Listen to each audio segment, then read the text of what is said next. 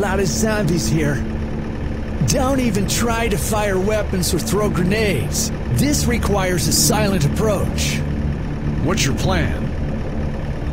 Take this bat. Go get those rockets and blow up the entrance to the mines. It'll help the woodlands from the zombie attacks. Sounds good. Will you cover me? Sure, I will cover you from the car.